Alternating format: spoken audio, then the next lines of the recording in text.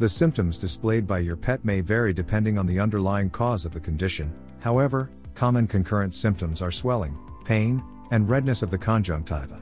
As this condition can lead to permanent visual damage and other complications, it is important your pet sees your veterinarian for treatment. Red eye in rabbits is a common symptom that can be caused by a variety of underlying conditions. These include bacterial infections, environmental causes of irritation, damage to the eye such as keratitis, corneal ulcers, or dental disease. Vet bills can sneak up on you.